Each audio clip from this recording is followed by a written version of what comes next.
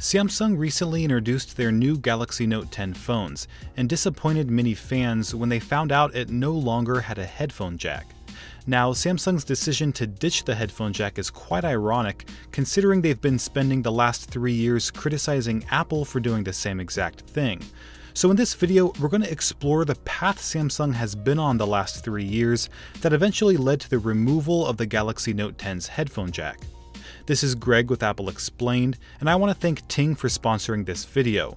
They're a mobile network that actually makes sense since you pay only for what you use, making the average Ting bill just $23 per device. See how much you'd save today with Ting by clicking the link in the description. Now, if you want to help decide which video topics I cover, make sure you're subscribed, and these voting polls will show up in your mobile activity feed. So when it comes to all this headphone jack drama, we have to start with the iPhone 7 back in 2016, because although there were smartphones without headphone jacks before then, like the Moto Z, Apple was the first major manufacturer to remove it from their wildly popular iPhone and this caused all kinds of backlash from users and competitors alike. And this anger was largely justified since Apple admittedly did a poor job at giving valid reasons for removing the headphone jack, which, as Phil Schiller said, came down to one word courage. And boy, did the internet have fun with that. Just look at these comments from MacRumors, an Apple news site. No headphone jack? No thanks. Courage, please. Courage? The courage not to buy an iPhone until they bring back the headphone jack. It's been around for a hundred plus years for a reason. Wireless is a pain when flying and using iPhone in airplane mode. Yep, it takes courage to rake in billions in extra sales because of this. That's the motivation, nothing else. But Apple users weren't the only people sharing their opinion. Google poked fun at the iPhone 7 in a promo video for their new Pixel smartphone. While listing all the device's new features, they included this. and Samsung was quick to follow suit, releasing an ad titled Growing Up, where they included this shot of an iPhone 7 looking pretty awkward. Later in 2018, Samsung released another ad that took a more direct hit at the iPhone 10's missing headphone jack. Can I still use these headphones with the 10? Yeah, but you'll need an adapter, or as most people like to call it, a dongle. A what? A dongle. A dongle? Yeah, a dongle. It comes in the box. But what if I just need to charge at the same time? Then you're gonna need another type of dongle. Like a double dongle? Yeah, double dongle, I guess. That sounds explicit. But despite these criticisms and more, the iPhone 10 went on to become the best selling smartphone in the world in its first quarter, which suggested customers weren't too bothered by the missing headphone jack. And Apple stood by their decision to remove the jack from the iPhone 7, saying it allowed for more room that was needed for the haptic engine, a larger battery, and IP7 water resistance. I just wish they would have mentioned those things during the iPhone 7's keynote, instead of saying the decision was due to courage, which only earned the company more criticism from the tech community. So after Apple took the initial media hit, suddenly the concept of removing headphone jacks from popular smartphones wasn't such a radical idea. Because just one year after the iPhone 7, Google introduced the Pixel 2, which had no headphone jack. And then Huawei introduced the Mate 20 Pro, which also had no headphone jack and then the HTC U12 Plus, the Pixel 3, and even Samsung's own Galaxy Fold were all devices announced with no headphone jack. Now, you can imagine how Apple must have felt seeing the same companies who criticized them following right in their footsteps. And this is something we've seen time and time again. It happened in the 80s with the mouse, it happened in 1998 with the removal of the floppy drive, it happened in 2008 with the removal of the CD drive, it happened in 2010 when the iPad didn't support Flash, and it's happening again with the removal of the headphone jack. Whenever Apple makes these controversial decisions, the industry initially berates them but always follows suit within a few years. And it's because Apple understands when a certain piece of technology is in its decline, and they aren't afraid to adopt emerging technology as soon as possible.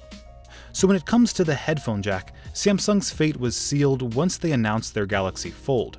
Now I should mention that the device has yet to actually go on sale after technical issues and hardware flaws plagued review units. But the moment Samsung conceded the headphone jack on their $2,000 Galaxy Fold, it was inevitable that they'd eventually remove it from other devices. And on August 7th, that's exactly what happened. Samsung introduced their new Galaxy Note 10 phones, none of which had a headphone jack. The decision caused quite a bit of frustration for some Android users who weren't shy about sharing their opinions. 1080p, no headphone jack, and no microSD slot.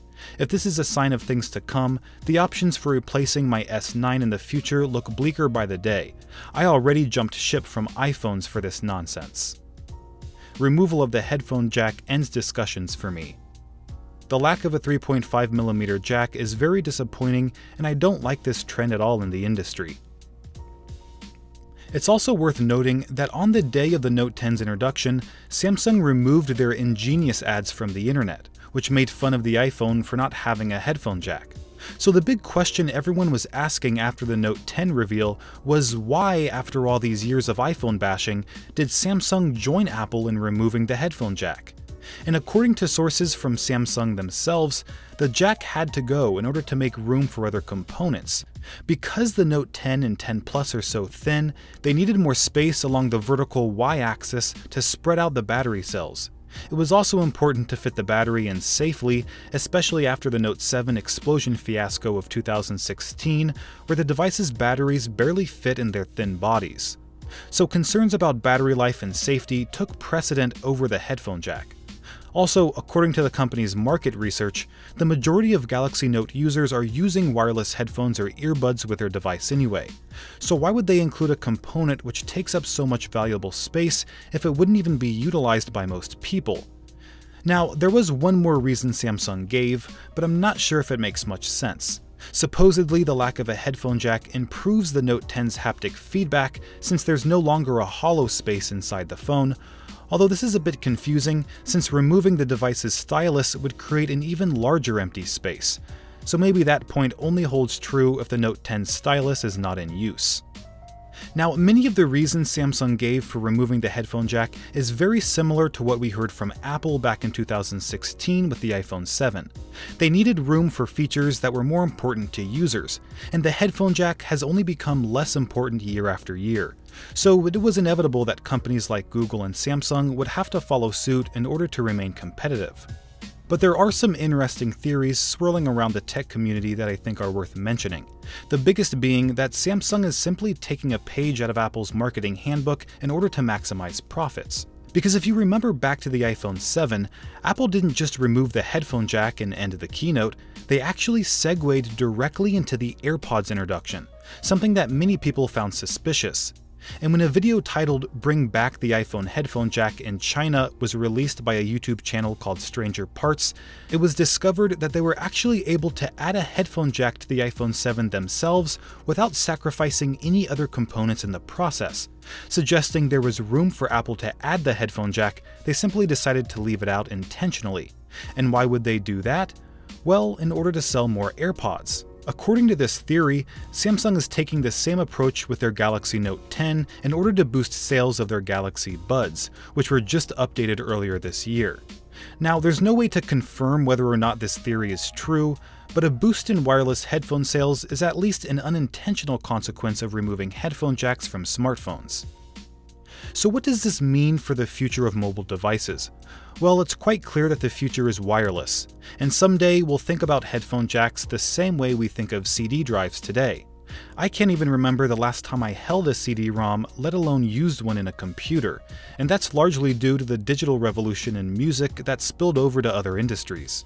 So in a world where all headphones are wireless, it'll be hard to imagine a reason for headphone jacks to exist, especially on mobile devices. But one thing I hope sticks around forever is Ting, a mobile carrier that actually makes sense, because they charge you based on how much data you use instead of an arbitrary amount every month. When you call them for help or support, you talk to a real person at no extra cost. There's no holds, no transfers, and no robots. And since you only pay for what you use, the average Ting bill is just $23 a month per device. Now, if you're stuck in a contract but would like to switch to Ting, they'll actually cover 25% of your cancellation fee up to $75. So head over to ae.ting.com, you can find that link in the description, and try out their bill estimator.